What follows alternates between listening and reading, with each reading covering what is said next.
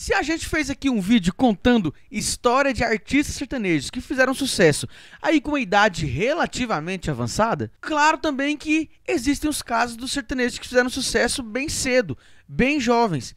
E eu também farei um vídeo desse aqui pra vocês, né? Desses sucessos bem precoces, alguns viraram lendas no meio sertanejo, lendas vivas, outros de repente mudaram ali o seu percurso, uns desistiram, enfim, é história para dar e vender. Diferente do caso de quem demora para fazer sucesso, que, nossa, caminha demais, o trilho do sucesso é muito difícil de chegar, os que fazem sucesso rápido, bem jovens, também têm outros problemas, como por exemplo, eles aprenderam rápido a ser sucesso, mas e manter o sucesso? Será que também vai ser fácil? Muitas vezes também alguns maldosos dizem que quem fez sucesso muito rápido é porque tem sorte. E quando se faz sucesso jovem demais, o fator jovem também pode atrapalhar bastante, porque gente sabe que faz merda pra caramba quando quer, e isso pode influenciar na sua carreira negativamente, fazendo também de repente os admiradores terem uma péssima referência daqueles que escolheram bem jovens para ser ídolos. Ou seja, arranha a imagem desse jovem artista de sucesso, porque querendo ou não, ele tem uma responsabilidade. E jovem é complicado. Então vamos começar aqui a nossa lista e imaginando aí a nossa vida se a gente tivesse feito sucesso e ficado rico como esses artistas aqui, bem jovens, bem cedo, como que a gente ia agir, hein? Vamos começar a nossa lista aqui hoje com a dupla Gian e Giovanni.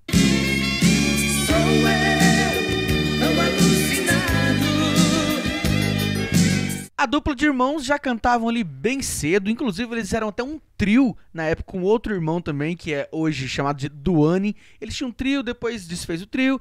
Bem jovens, o Jean e Giovanni continuaram cantando ali, tentando arrumar investidor, arrumar quem acreditasse no trabalho deles, até que eles conseguiram investidor e ainda conseguiram um grande produtor na vida deles que moldou a maneira deles cantarem, que é o maestro Pinóquio. E gravaram e lançaram ali em 88 o primeiro LP deles. Claro que o sucesso mais consolidado de Jean Giovanni foi ali em 91 mais ou menos, com a música Nem Dormir Não Consigo Te Esquecer. Esse aí vai o auge do auge mesmo. Mas não podemos negar que esse LP de 88 deu sim um grande destaque para Jean Giovanni, botou eles no meio do mercado, colocou eles como uma, uma dupla ali para ficar de olho, porque eles eram bons pra caramba e tinha sucessos ali como Espuma da Cerveja, Você é Minha Vida e outras aí, Amante Anônimo. Então, se considerarmos 88 como o primeiro grande destaque ali de Jean Giovanni, o Jean, que é o mais velho, tinha nessa hora 21 anos. Mas Dudu, o vídeo aí não é para falar aí quem fez sucesso antes dos 20 anos, como tá no título e tal? Sim, menina pressadinho, calma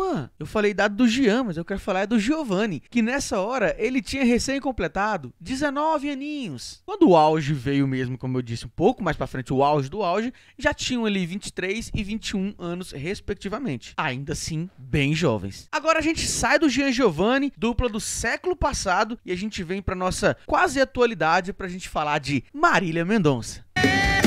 Eu sei que é errado e quem a menina de ouro, seja cantando, seja compondo, já conquista ali o meio sertanejo desde os 12 anos com suas composições. Porém, vamos falar aqui hoje de artistas que conquistaram seu espaço nos palcos, se apresentando, cantando. A eterna Marília Mendonça estreou como artista em 2015, quando ela começou a lançar os seus primeiros trabalhos. Esses primeiros trabalhos tinham de participação de Henrique Juliano, ou seja, de quem já era grande na época. Esse ano de 95, ela completaria 20 anos de idade. Ela tinha 19 ainda. Apesar de 2015 o trabalho dela começar ali a fazer um barulho em pontuais locais, assim, foi em 2016 que o seu nome ficou na boca do povo, assim como as suas músicas, um verdadeiro fenômeno. A Marília não tinha nem feito o seu aniversário ainda em 2016 e as suas músicas estavam aí nas playlists dos seus recentes, porém bastante fãs. A força da voz da Marília, o peso dos assuntos das suas letras e todo um trabalho profissional ali por trás dela fazia as pessoas duvidarem da sua idade quando ela falava: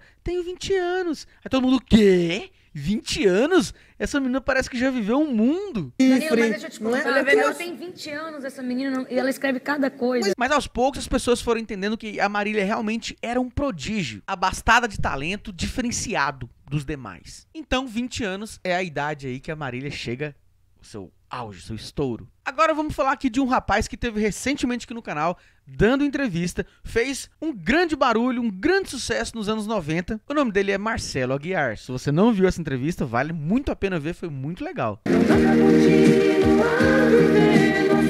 O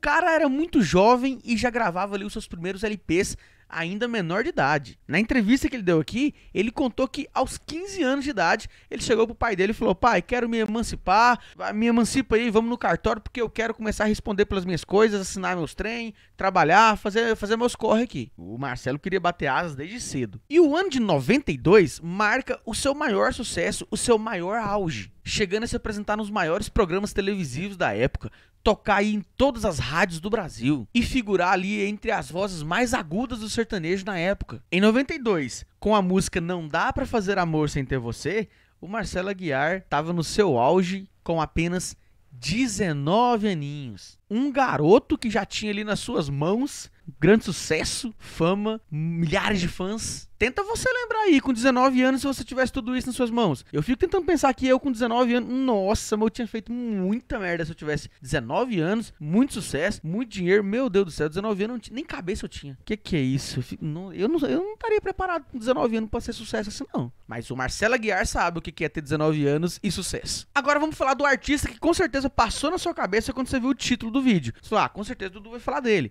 claro que é o Luan Santana. Pode ir, tudo bem, você não sabe. O Luan nasceu em 1991.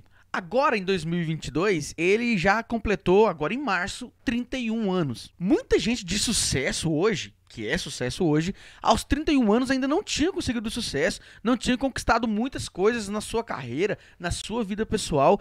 E o Luan, com 31 anos, ele já é um cara que há pelo menos, há pelo menos 12 anos, ele não sai do top dos top das paradas de sucesso dos caras que mais arrecadam, sucesso mesmo, muitos fãs e tudo mais. Um artista de primeiro escalão há pelo menos 12 anos. Foi em 2007 que o Luan fez o seu primeiro show. Esse show aconteceu no interior do estado do Mato Grosso do Sul, quase na divisa ali com o Paraguai, porque uma música dele tava rodando ali nas rádios do interior do estado, uma música bem mal gravada, e também tava tocando num negócio chamado YouTube, que tava começando a se popularizar nessa época. A música, falando sério, se espalhou tanto, sem ele saber, e as pessoas também não sabiam dele, porque a música só tocava. E no começo da da música ele falava a frase: Obrigado, Jaraguari!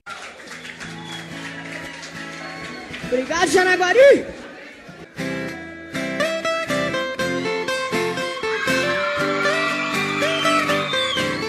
Jaraguari é uma cidade ali do interior de Mato Grosso do Sul. Então o pessoal pensava assim: ah, é uma criança falando de Jaraguari, é o gurizinho de Jaraguari. E é assim que o pessoal chamou o Luan Santana no começo. Nessa época, o menino tinha 15 anos. Já em 2008, ele passou a rodar bastante nos interiores aí de alguns estados do nosso país, como por exemplo o próprio Mato Grosso do Sul, Mato Grosso, Rondônia, Goiás, interior de São Paulo, interior do Paraná também. Nesse ano ele tentou a todo custo fazer as pessoas, aos poucos, ir migrando o, o nome artístico de Gurizinho para Luan Santana. E afinal de contas ele tava crescendo, já tava virando um homem e o pessoal chamando de gurizinho não ia dar certo, né? E aos poucos foi acontecendo. Em 2009, ele já fazia um barulho bastante considerável na sua região, em vários estados. E ali ele gravou, se eu não me engano, no, quase no final do ano ali de 2009, ele gravou um DVD grandioso na capital do Mato Grosso do Sul, tendo ali mais de 85 mil pessoas para assistir o seu DVD. Já fazia sucesso, não fazia o menino, hein?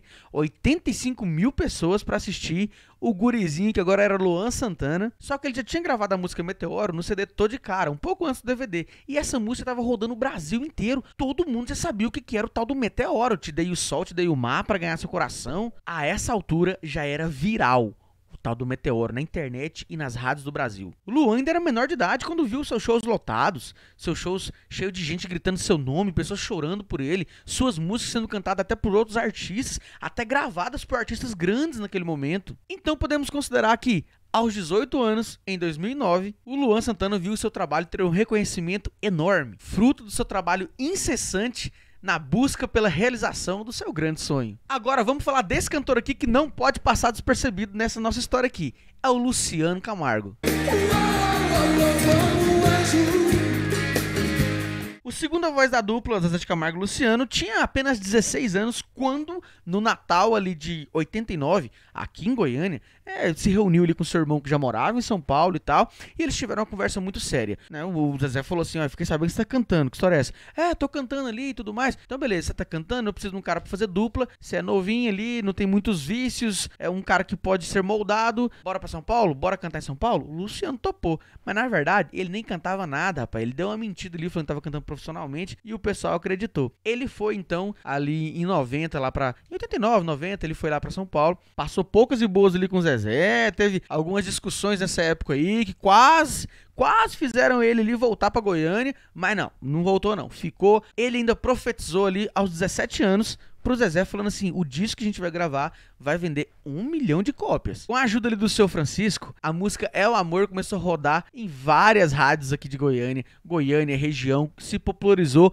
muito antes, inclusive, até do disco completo sair. Esse sucesso que começou a fazer regionalmente a música É o Amor obrigou a gravadora a apressar o passo ali para soltar o disco logo de Zezé de Camargo Luciano. E isso aconteceu na data de 19 de abril de 91, oficialmente. O Luciano tinha recém-completado seus 18 anos, quando a dupla ali estava estourada, uma procura gigantesca por Zezé de Camargo e Luciano. Agora imagina você ter 18 anos e já ser conhecido ali no Brasil todo. O Luciano sabe bem como é que é isso, viu? Para fechar o vídeo de hoje, vamos falar de uma dupla que não existe mais hoje profissionalmente, mas que fez um barulho muito gigante em 2002. Tô falando, claro, de Pedro e Thiago. Um toque de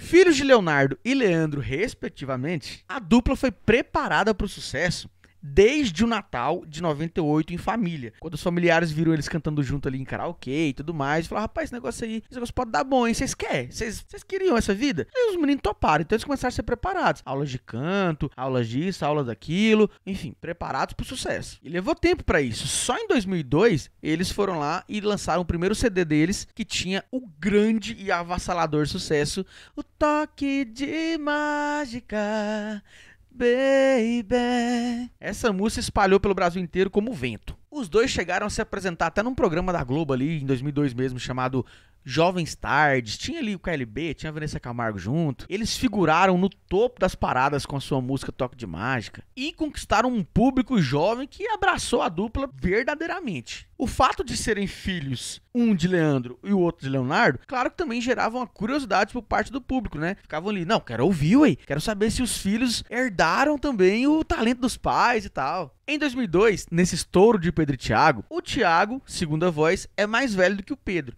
e ele tinha apenas 17 anos quando estava tocando no Brasil todo. Apenas 17 anos. Se surpreendeu? Mas e o Pedro? O Pedro, nessa hora, ele tinha há poucos meses completado 15 anos. 15 anos e você ser sucesso no Brasil inteiro. Isso aconteceu com Pedro e Thiago. 15 anos e já ser sucesso, ser famoso. 15 anos é muito precoce, não é não? O que, que vocês acham? Mas aí, você conhece outro artista sertanejo que também estourou muito jovem, ali antes dos 20 anos? Deixa aqui nos comentários pra gente fazer uma parte 2. E não esquece, se você não assistiu, assiste o vídeo falando dos sertanejos que fizeram sucesso com idade relativamente até avançada em relação a esses, por exemplo. Deixa o seu like no vídeo se você gostou, ajuda muito o canal. Se inscreve se é novo por aqui. Beijo no coração e até o próximo vídeo.